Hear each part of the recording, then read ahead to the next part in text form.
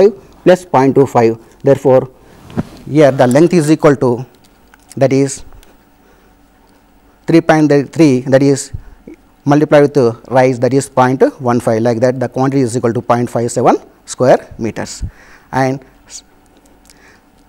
second step. For third step also that is again 0.25 meters this in this direction. It is extra 0.25 in the width in the direction and in the direction also it is 0.25 extra you can add here. Third step 3.8 plus 0.25 plus 0.25 so it is 4.3 meters. So length is 4.3 and multiplied, multiplied with the height that is 0.15 will get the quantity is 0.64 square meters. Similarly fourth step again 0.25 0.25 would add because it is increasing the length in both the directions.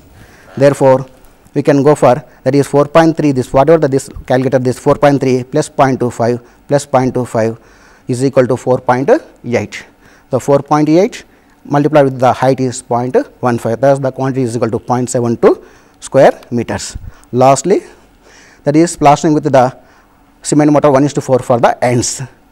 Now first step.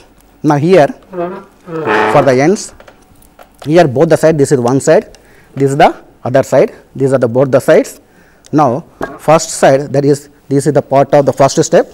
Now here the the width of the stair is 1 meter and height is equal to 0.15 so plastering for the first step in this way. And for second step the width of the step is 0.75 and height is 0.15. Similarly, for third step width is 0.5, height is 0.15. For last step it is width is 0.25, height is 0.15. Now, you can see here, here two numbers.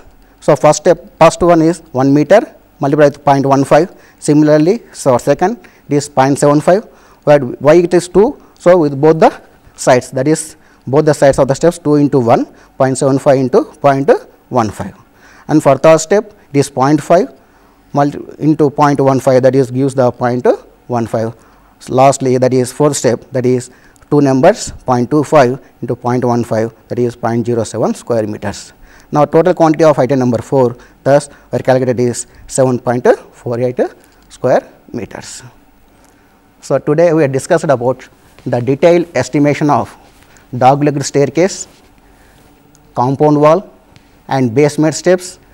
In that again we have discussed one-way steps, two-way steps and three-way steps. So, so today we will conclude from this. Next class we will going to continue the analysis of rates.